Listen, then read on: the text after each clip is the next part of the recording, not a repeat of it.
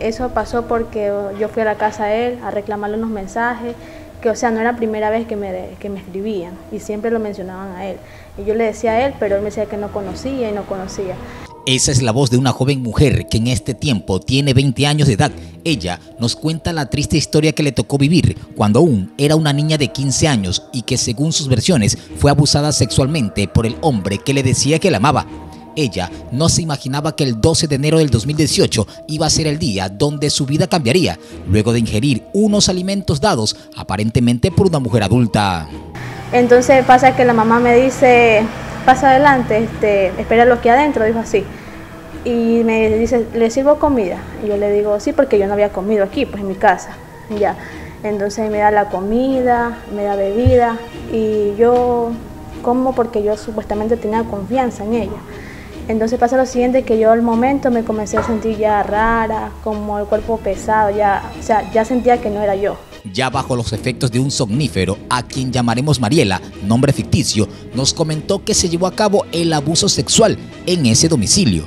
Luego, la víctima habría sido retirada de esta vivienda y subida a una tricimoto para que la traslade hasta su domicilio. En el trayecto, cerca al ese entonces Centro Materno Municipal, lugar por donde la señorita cayó de dicho medio de transporte cuyo conductor abandonó el sitio.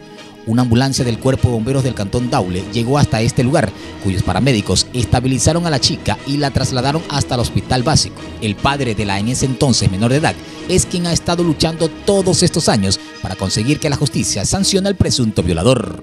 Se le ha dado largas, se ha dilatado, pero no, hasta la vez no hay algo concreto. O sea, todo lo que yo solicito siempre, como que dice, queda, pero se puede sin el olvido porque nunca le toman asunto a uno. Entonces, sí me gustaría que esto llegue pues, a los superiores para que pues, tomen los correctivos y no solamente eso, sino para que pues, se haga justicia, porque no puede ser posible que cinco años no haya una justicia y cada que uno se presenta le ponen mala cara y no debe ser así, ¿no? Conversamos con el abogado Walter Jaramillo, quien está a cargo de la Fiscalía en Daule y tiene conocimiento sobre este caso. Él nos da detalles del mismo. Esta investigación fiscal ya se encuentra muy avanzada.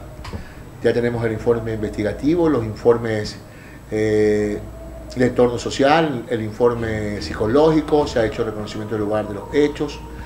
Pero, por ejemplo, eh, lo que nos falta es la Cámara de Gesell. Se la ha dispuesto por dos ocasiones, no se ha llevado a cabo por razones que no, no, son de incumbencia de la Fiscalía, eh, pero ya estamos nuevamente disponiendo esta diligencia. Una vez que hayamos evacuado esta diligencia, de acuerdo con lo que se mencione, la, la, víctima menciona en la Cámara de Gesell, podemos nosotros tomar una decisión. De ser afirmativa, pues lo más seguro es que la Fiscalía proceda a formular cargos en contra de este ciudadano que no se dilate más el caso y que haya justicia, es lo que pide la joven mujer. Exacto, pido justicia porque ya son cinco años que, o sea, no se ve ni una respuesta. Entonces espero que haya justicia y pague por lo que hizo. Con cámara de Jorge Jiménez informó para Canal de Noticias Douglas Corozo.